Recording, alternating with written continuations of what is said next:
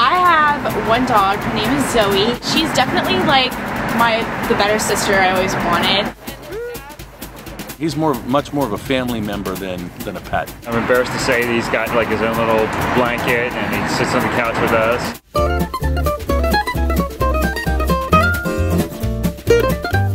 You can just see it in his face. If I'm going somewhere, he comes racing over and he's just looking at me like, can I go? Can I go? Can I please go? I'll bring him just like I would any of my children. If you insult my dog, I'm gonna be like, don't you insult my dog. My dog is the best. Her food is pretty expensive, so she probably eats better than I do. I definitely treat them like they're babies. I definitely tell them I'm their mommy and, you know, I try and, you know, give them all the attention and love that I can. My wife and I were never the ones to say, no, no, no, your bed's over there. You know, I would get up in the morning and there would be my wife and I, and it's only a queen size bed, with three little boys and a corgi.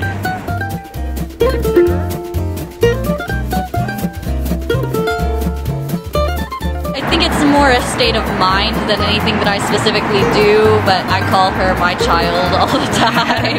I don't have any and I don't want any yeah. real children for, you know, another couple of years, so she, she gets my, my kid fix.